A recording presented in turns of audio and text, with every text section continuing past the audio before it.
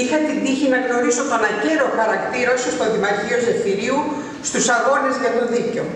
Λίγος ήταν ο χρόνος που σε είχαμε κοντά μας, όμως μας δίδαξες τιμιότητα, ευθύτητα, ντομπροσύνη. Είχαμε την τύχη όμως να σε ζήσουμε και οικογενειακές στιγμές σε εκδρομές αξέχαστες. Γι' αυτό μου είναι δύσκολο να σε αποχαιρετήσω. Η είδηση της ασθένειάς σου μας λύπησε. Δεν περιμέναμε να φύγεις τόσο γρήγορα. Με πόνο ψυχής βλέπω την Κέτη, τις κόρες σου Μαρία Ελένη, τον Γιώργο, τις εγγονές σου Ηλιάνα και Ζωή και πρέπει όλοι μαζί να σου πούμε αδείο. Θα μας λείψεις φίλε Γιάννη. Θα σε θυμόμαστε πάντα με αγάπη και είμαι περήφανη που μπορώ να πω ότι είσαι ο φίλος μου. Φίλος μου. Καλό κατεβόδιο φίλε Γιάννη. Καλό ταξίδι.